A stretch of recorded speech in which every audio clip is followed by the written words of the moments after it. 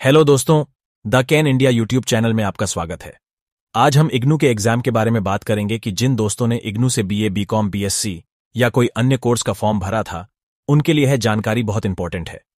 नई अपडेट यह है कि परीक्षा एक जून से शुरू हो जाएगी और सात जुलाई तक चलेगी। दोस्तों, हम इस वीडियो में आपको पूरी जानकारी देंगे कि आप किस तरह से अपना हॉल टिकट, यानी कि रोल नंबर कब तक और कैसे निकलवा सकते हैं। तो चलिए, दोस्तों वीडियो की शुरुआत करते हैं।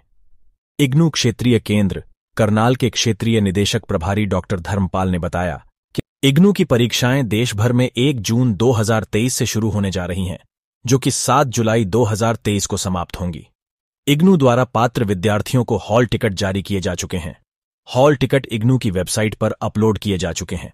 यदि दोस्तों, अभी तक आपने अपने हॉल टिकट को डाउनलोड नहीं किया है तो इग्नू की ऑफिशियल वेबसाइट ओपन करके अपने हॉल टिकट को डाउनलोड कर ले। क्योंकि इसके बिना आपको परीक्षा में बैठने नहीं दिया जाएगा।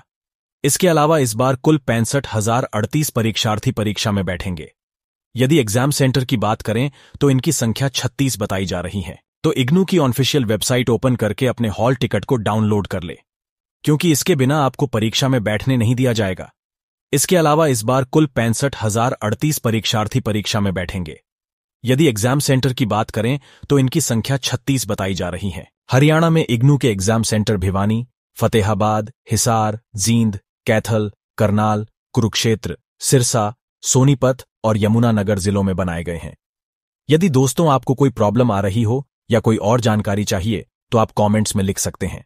यदि आपको ये वीडियो अच्छी लगी हो तो अपने दोस्तों में शेयर ज़रूर करें और नई जानकारियों के लिए हमारे चैनल को सब्सक्राइब ज़रूर करें